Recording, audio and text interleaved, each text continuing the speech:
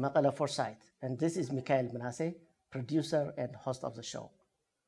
A British diplomat once remarked, Foreign policy is what you do, referring to the substance, and diplomacy is how you do it. And he was referring to the method, uh, to the process. So, what is the federal government doing, and how is it doing it? Meaning, in terms of its dealings with the external world. To answer these and other questions, with me here today is Ambassador Fiseha Asgedom, veteran diplomat, Ambassador Extraordinary Plenipotentiary to Israel and Germany. He also served as Director General at the Ministry of Foreign Affairs for International Affairs. Ambassador Fiseha, welcome to the show. Thank you very much. Thank you for having me here. Before going to foreign policy and diplomacy, we'll start with the elections, which is the main preoccupation of the people and government of Tigray, which in some way also gave some discomfort to the federal government. Should this election in Tigray be a cause for discomfort to the federal authorities? Well, yes and no. Uh, it all depends on how you look at it. The, the current leadership in Ethiopia came to power as a government of reform. The leadership wanted to reform the EPRDF, which we all embraced, to improve on the EPRDF's uh, overwhelming success in Ethiopia, but some of the shortcomings. And this uh, leadership was embraced by the international community. In fact, they claim uh, they have worked with uh, this group uh, long before we came to know about it. Therefore, if the current leadership in Addis was as reformist as it claimed to be in the first place, if it was for if it is for the Ethiopian constitution and for the pluralism of the country, the election in Tigray should not create any headache to it. It looks uh, the leadership in Addis is not what I, what I just outlined uh, before. It has now proven to be beyond the benefit of the doubt. It wants to undo all the good things that the previous governments have done for the last 28, uh, 27 years. Therefore, uh, if he does not want to, to run and conduct a national election, and the regional government and party says we're going to run according to the constitution, it does not want to continue to embrace the diversity of this country as it is manifested in the constitutional arrangements. It wants to have a unilateral authoritarian government in Addis. Of course, it is a huge, huge, huge, huge headache to the central government. Over the course of decades uh, serving your country in different countries, you've closely monitored and observed elections, uh, also including uh, in Ethiopia. Is there any precedence, either here or abroad, uh, where uh, one region of a country um, carries out elections and not the rest of the country? Not only there is precedence, it is normal under the developed democracies. For example, a country that I have watched for many years in the United States, the state elections are uh, run and conducted independent of the, the federal uh, uh, government and irrespective of the federal elections. Every state in the United States elects its governor, what they call uh, uh, assembly members, which are the regional parliaments, all the way to city mayors, independent of the time schedule of the federal election. There are elections of uh, uh, states that coincide with the national presidential election, as if now uh, Trump and Biden are running for election, and some states are also electing their uh, senators or congressmen. Therefore, it is not per se that in every country, in a, in a federal state, uh, everything has to be done at one time schedule. In the case of Ethiopia also, uh, we have a precedent. The national regional state of Somalia, so, and also the autonomous cities of Addis and Dire Dawa have their elections postponed uh, outside the national elections of the Ethiopian uh, uh government. To me, it is absurd that the rights, fundamental rights of people to self-govern will be somehow be rewarded, granted, or denied by a, a federal government, a federal uh, election uh, board. These are fundamentals. Uh, I hear people still saying the National Election Board uh, has not accepted this uh, request, uh, and therefore the regional parties, so the regional government of Tigray, shouldn't run a constitutional right of the Tigray people. and therefore, it, it, it is simply mind-boggling to me. It is fundamental right. No, not only the National Election Board, the Tigray regional government itself cannot deny the, the Tigray people, even though it was elected by them. It will be uh, history if it was going to do that, like all other regional uh, governments that have now seen their own demise. Therefore, I think uh, there is a precedent. It is a normal uh, procedure in, in the world. I, it has nothing to do if it is right or wrong. It has something to do that the uh, Prosperity Party government has denied the rest of Ethiopia the right to, to elect their leaders. And Tigray is becoming a very bad example to the Prosperity Party and the best example to the rest of Ethiopian people. This is, this, this is uh, uh, the bottom line of the, the, the, the problem that is being uh, propagated by the central government. And this bone of contention has continued. I gather that uh, soon the Federal Council is going to deliberate on, on the issue. The regional uh, national government of Tigray has made its uh, position clear from day one, and the people of Tigray has uh, endorsed it. It was their demand. It has consulted them, and yes, uh, there were uh, threats, they continue to be, but this is now reality. I think in a few days, uh, eight or seven days from now, there will be an election in, in, in Tigray. Uh, there will be a legitimate, constitutionally elected regional government that will constitute uh, the executive and the, ju the, judiciary and continue to, to strengthen the peace and continue to develop the region. Uh, it looks the PP government seems to be backing down, at least from its violent threat, where the prime minister came on uh, uh, TV and was threatening that uh, uh, if there was going to be uh, an election in Tigray, that there will be mothers who will be crying, there will be young people who will be destined to die. In his uh, Tigrinya interview on the same uh, national TV, he a kind of uh, uh, completely undermined the right of the Tigrayan people and say, well, I just thought you can use the budget for some other thing, uh, comparing it to drilling wells or what have you. Uh, that was an insult to the Tigray people, to the Tigrayan population, that uh, they value their right to vote uh, and then these things will follow. It is not a, equating X number of birr to your fundamental right to govern itself. God knows where the rest of Ethiopia will be going to elections. Therefore, in that aspect, it, I, it looks like uh, the, the government, at least the prime minister, is pushing the confrontation between the regional government and the central government to the federal, to the House of Federation. From what we saw last time and from what we hear now, they may be getting together um, to take some what they call uh, nasty actions against the, the election before or after it is done.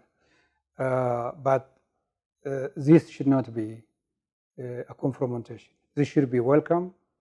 It should be celebrated. uh, this part of the country, they are exercising their fundamental right. All the central government could say is, we're sorry, we thought the COVID-19 will not allow us to do this. It has a way out. Now we can run the election uh, while at the same time protecting ourselves from this pandemic. And therefore, it will continue to make mistakes after mistakes, and it should know better. This, this is not the way out. As the voting day draws near, the election process is in full swing. The contending political parties are campaigning on the media. From your experience, how do you assess this process? First of all, I am much, much, much encouraged and very appreciative of the uh, democratic culture that we see uh, among the, the contending parties in this region. Uh, given the history of uh, democracy in all developing world, including Ethiopia, and given this uh, contentious issues that has nothing to do with fundamentals, but with uh, hate politics, what have you, I see uh, it, by and large a democratic culture uh, mushrooming in, in, in, in Tigray. Uh, you do not establish a democratic tolerance, a tolerance to what you don't hear without exercising it. So I've been watching developed democracies on how far they go on campaign trail, how they uh, posture themselves. Of course, we will learn from our experience on some of the things that we have to correct, but overall, uh, this is a historical uh, uh time. I am already delighted about the campaign, and the outcome to me is secondary. Whoever the they got the hearts and minds of the Tigrayan people, will get the votes.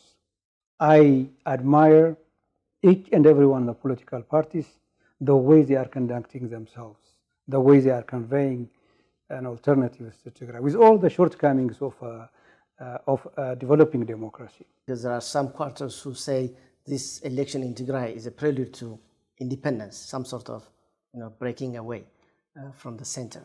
And uh, we also hear some voices saying that this is uh, more than an election, it's a referendum. So, what is this election and what it is not? This election is uh, under, even though under a very uh, different circumstances than the previous five, in a way that there is a government in Addis that wanted to get rid of the constitutional framework of the country. And this election is the sixth election, as was there was a fifth election, but fundamentally also defending the constitution of the country. Uh, there is now a real threat uh, to the constitution of Ethiopia by the PP party, by the PP government. And therefore, it is unique in a way when the central government have said no election. The constitution is being eroded. Uh, these regional government and regional parties have said not only we will exercise our constitutional right, we will stand in defense of the national constitution. A constitution is not only to Tigray but to everyone. This is, a, as far as I am concerned, the fundamental difference is the, the timing and the way the election is done.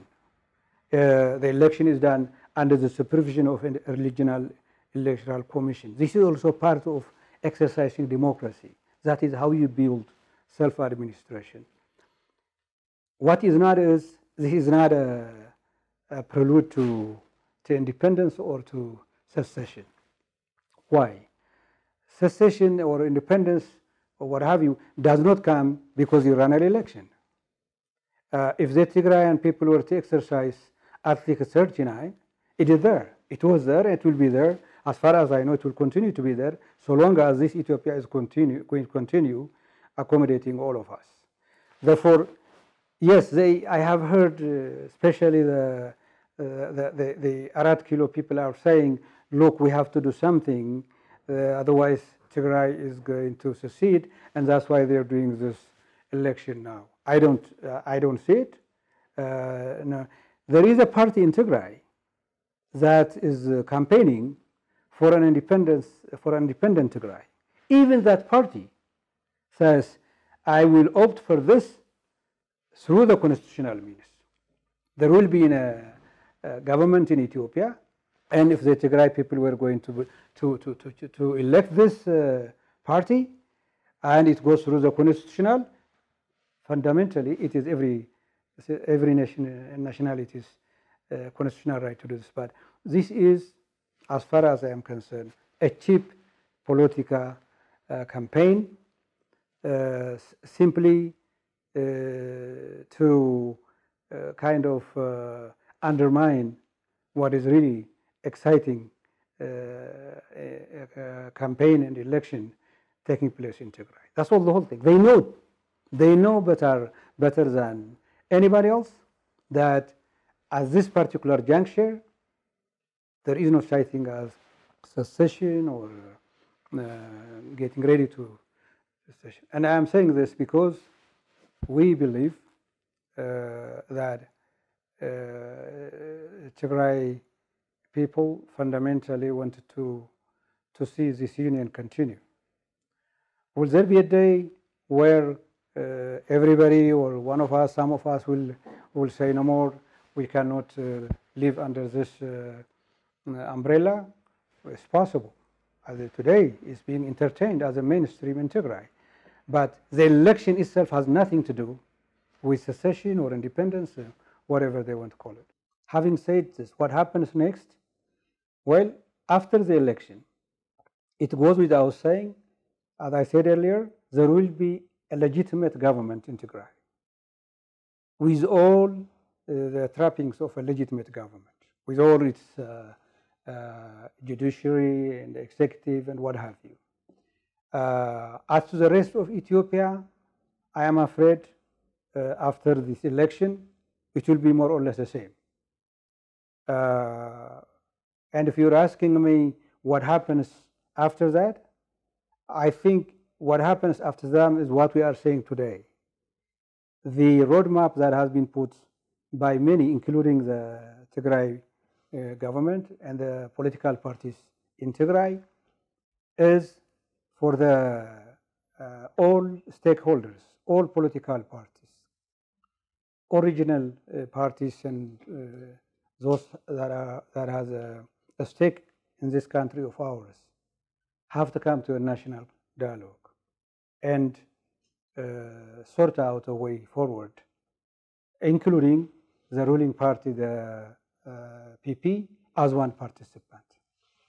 The only differences from what I see the Tigray uh, parties, the Tigrayan parties and the Tigray government, whoever is in the parliament and outside the parliament, they will be in a better position, in a better uh, posture to contribute to the national dialogue as a legitimate and newly elected uh, uh party or parties with the mandate of the Tigray people. That is a strength. And it should be also welcomed by other, part, by other parties throughout the country. Therefore, in, in terms of uh, Ethiopia as a whole, nothing has changed. Uh, the uh, regional government and the ruling party till now hasn't said once we, we are elected, we are, not, we are going to change our mind uh, about the national dialogue. It has said, no matter what, while we do this uh, constitutional responsibility, we will also be working with others to at a national level. So this is this is what I see will happen if the PP leadership accepts what is being not only uh, asked, requested, pleaded by Ethiopian uh, oppositionists, but even by its supporters outside the country. Very interesting. We'll come back after the break. And great strides. With ripple effects going far and wide. Get the perspective. Are fast unfolding. From where history is being made, from where it has always been made. Understand the values upon which mutual benefits and success depends. Have the foresight. Get it from those who walk the talk. From Mekelle Foresight, only on Tigray television.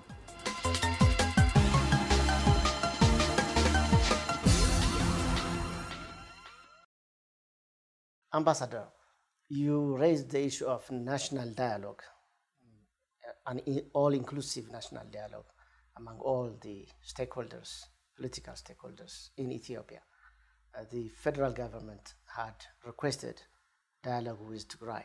Why not? Won't that open up to a wider national dialogue? To begin with, uh,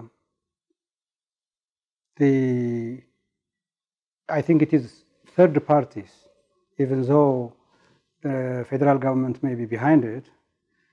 Uh, it is third parties like uh, the International Crisis Group and other countries that we know of uh, who uh, and also um, national uh, national groups like the elders uh, who genuinely think this dialogue will help.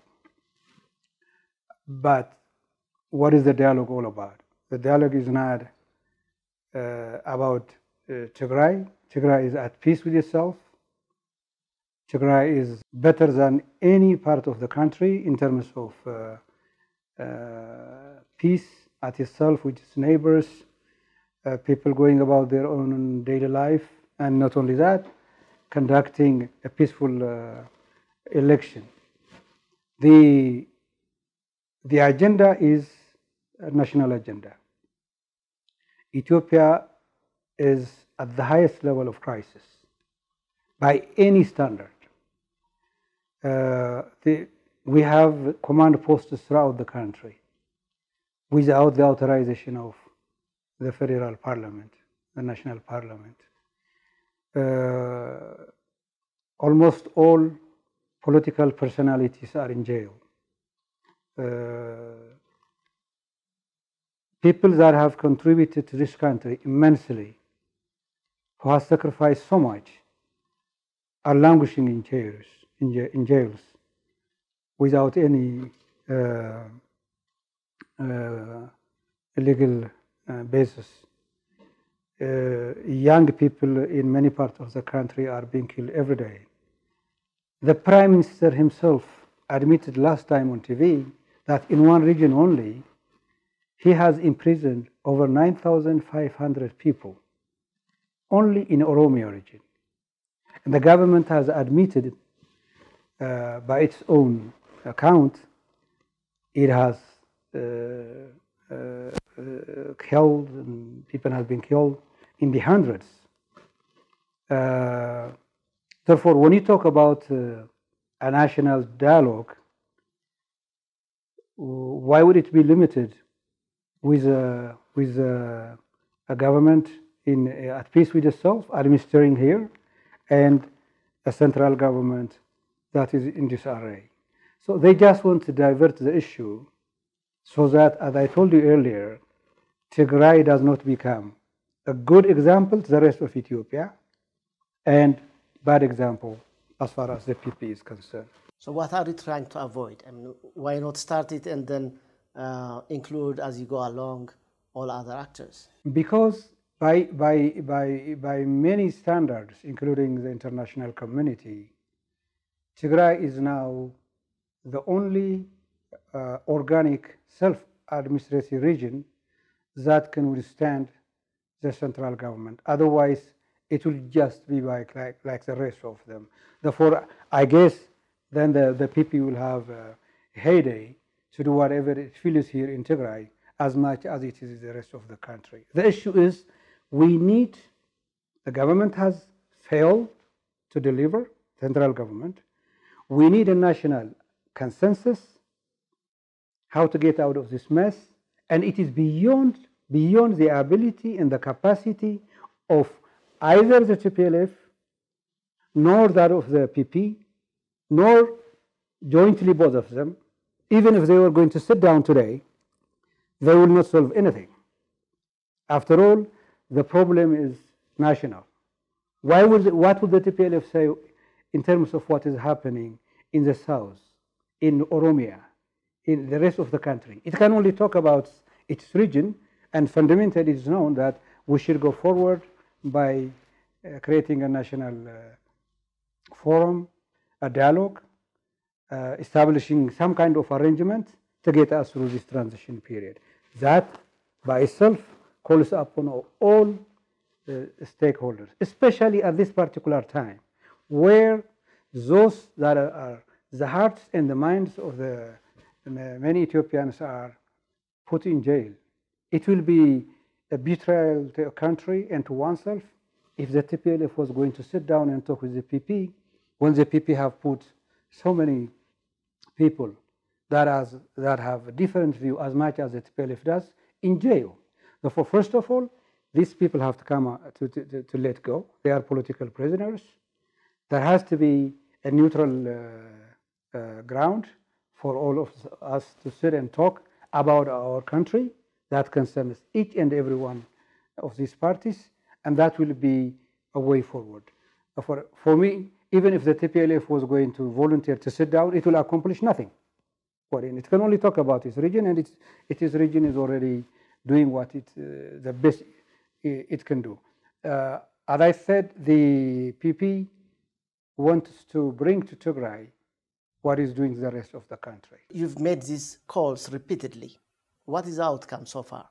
Meaning, in terms of the national dialogue? Yeah. I'm afraid so far the PP is in another world.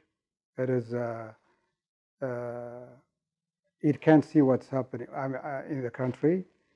Uh, I think it called upon a, a group of uh, what he calls opposition parties the, in Addis, mimicking what we are talking about right now. It is insulting uh, not only the Ethiopian people, but its own party members. that's not the way to go.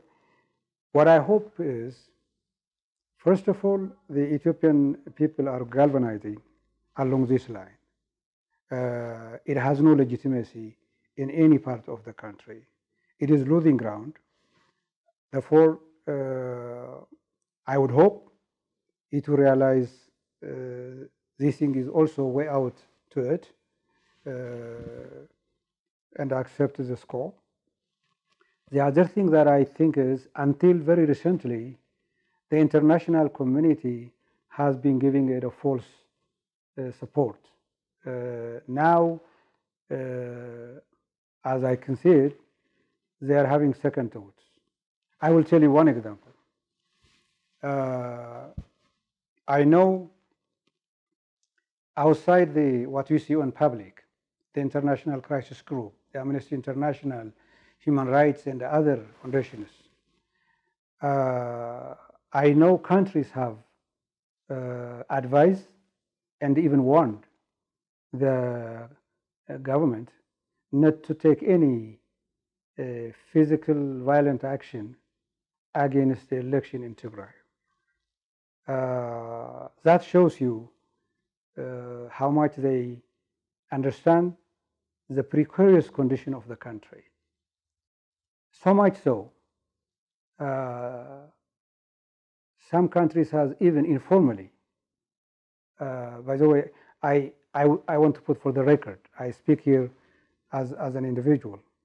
I have some colleagues that I uh, knew for a long time in the EU, and uh, they asked me a few months ago that what will the government of Tigray uh, think if you are going to ask to be uh, observers. And I told them, from what I know, from what I understand, you will be more than welcome. This was long time before the, the Tigray Election Commission even invited countries and organizations to become an observer. Recently, the same person that I communicate to uh, intimated to me that the EU has informally approached some people in the government the Prime Minister's office if they will be willing to allow them to observe in Tigray. Uh, and you know the answer is uh, the, the, government will not allow the EU to come and observe, even though the EU people have said, from what I heard, if this election is fake, as you tell us, we will say so, and it will be to your advantage to ask the, the election to be done again whenever you are running an election in Ethiopia. Therefore, they did not accept them, they, they discouraged them, so they, they did not ask formally, from what I know, to, to opt, but informally already. That shows you uh, how far the international community has come. The international community, including countries that are considered uh, supporters of the current prime minister, cannot stand against an election. They have their own suspicions as, a, as they will have an election on Ethiopia. Will it going to be fair? Is it transparent? How many parties are going to run? What does this mean for the rest of Ethiopia? But they cannot stand against a region that wants to exercise election. This is what they ask every country to do. Their population will be asking them, why are you against uh, a region uh, electing its own, no matter what the, the shortcomings of the election are. But the, the PP will not allow it. Not only it will not allow foreigners. I just uh, heard the other day there were two Afar uh, political parties that were uh, signing agreements to work with the, the TPLF, and on their way back to their home, uh, they put them in jail in the name of quarantine. And they told them, this is what you get for going to Tigray, and maybe you will go back to observe the, the elections. This is what's happening here, let alone uh, allowing uh, uh, countries from the EU or the EU as a, as a union to observe. But what I meant to say, is the international community, uh, in the beginning, rightly so, felt this is a reformist government. It talked about better elections than what the EPRDF did in the, in the uh, first uh, five elections. It proclaimed that not only to learn an election, if it lost, the prime minister will leave the office the next day as if he has other choice. And he continues to repeat this. If I lose, I will live. You know, the, when you talk about democracy, it goes with it that you have to live. So they were puzzled. Why is uh, this region conducting an election when a prime minister so committed, an international Nobel Peace uh, Prize laureate, will bring peace and better democracy, uh, better development to the country, and in the name of COVID 19, maybe they, they believe that. But when they see what was happening in other parts of the region, where they were not running an election, uh, they of late realize, as I told you, uh, that this is legitimate. Uh, people have the right, and they went as far as uh, warning and advising the government not to take action. This is why, uh, in the interview I mentioned earlier, Kistas, you know, the, the I will not interfere in the internal election of Tigray, but the federation may do something about it. Uh, so the international community, uh, as far as I'm concerned, I think uh, the honeymoon with the international community is over before it started. Really. But it was so late in coming. Uh, even the Amnesty International and other you know, international organizations uh, have realized, even started criticizing the government, the federal government, for doing this and that, especially the crackdown on the opposition, uh, its relations with the regions and all that. Uh, why has the West been looking away from the problems for so, such a long time?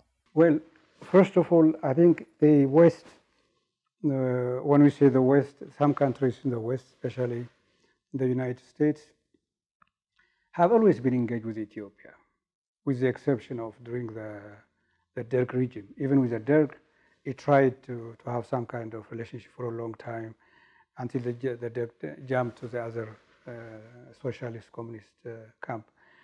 Uh, to, be, to, to, to be fair to them, uh, they thought, in addition to delivering to what they consider their national interest, the previous government of EPRDF did work with the West, but on its own terms.